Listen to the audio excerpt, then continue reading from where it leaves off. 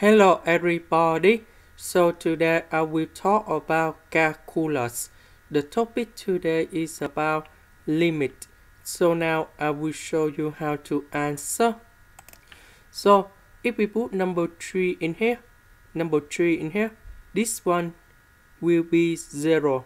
Square root of 3 minus number 3, you got about negative number in here.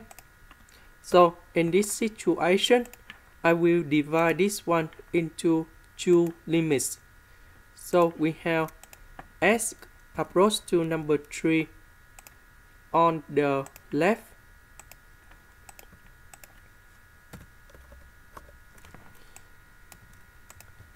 so that means the value the num the number on the left is smaller than number 3 so when we put number 3 in here but the value is smaller than number 3 so this one will be approach to negative number for number 0.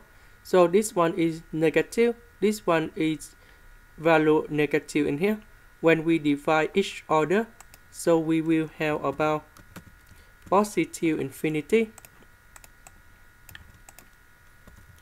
This one, when x approach to number 3 on the right, so the value in here, when we put in here, we have 0 but this value 0 in here is positive but this one is still in negative.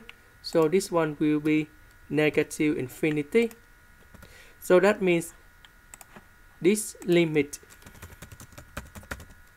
does not exist because both of them they go to infinity. That's why the limit does not exist this is the end. Thank you for watching.